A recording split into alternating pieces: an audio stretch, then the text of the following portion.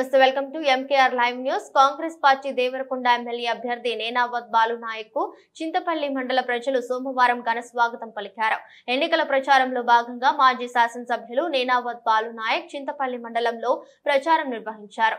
అడుగడుగున అభిమానులు కార్యకర్తలు బ్రహ్మరథం పట్టి గజమాలలతో మరియు పూలతో వర్షం కురిపించారు.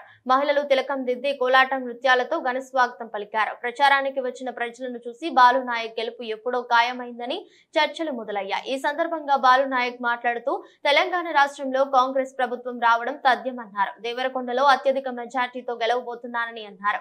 రైతులకు ఏకకాలంలో రెండు లక్షల రుణమాఫీ మహిళలకు ఐదు వందలకే గ్యాస్ సిలిండర్ ఇరవై నాలుగు గంటల ఉచిత విద్యుత్ సౌకర్యం పది లక్షల ఆరోగ్యశ్రీ వంటి ఆరు గ్యారంటీలో అనేక సంక్షేమ పథకాలను కాంగ్రెస్ ప్రభుత్వం అమలు చేస్తుందని అన్నారు.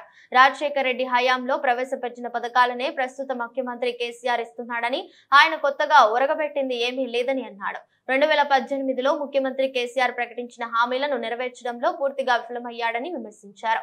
నక్కలగండి ప్రాజెక్టు డిండి ఎత్తిపోతల పథకం పెళ్ళిపాకుల ప్రాజెక్టు పథకాలు మూలన పడేసిన ఘనత బీఆర్ఎస్ ప్రభుత్వానిదేనని విమర్శించారు. కాంగ్రెస్ పార్టీ అధికారంలోకి రాగానే ప్రాజెక్టులు పూర్తి చేసి అన్ని వర్గాల ప్రజలకు అండగా ఉంటామని అన్నారు.